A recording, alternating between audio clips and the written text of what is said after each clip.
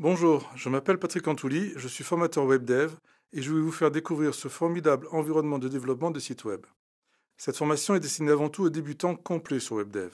Elle a pour but de vous présenter les bases du logiciel en vous guidant dans la création d'un site simple. Vous n'avez pas besoin de savoir développer pour suivre cette formation, mais la connaissance d'un autre langage ou environnement de programmation peut être un plus.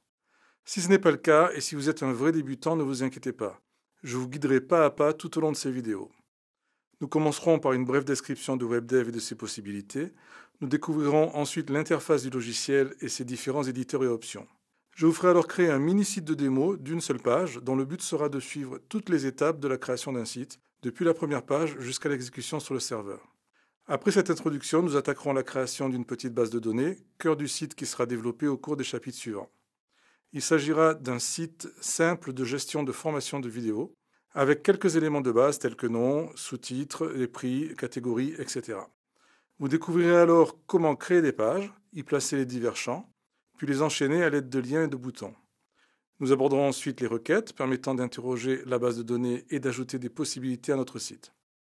Puis nous enchaînerons sur les états dont le but principal est de générer des impressions ou des documents PDF. Pour terminer, nous générerons le site que nous pourrons tester sur le serveur d'hébergement de test de l'éditeur de WebDev, PCSoft. Alors allons-y, j'espère que vous suivrez ces formations avec le même plaisir que j'ai eu à les faire.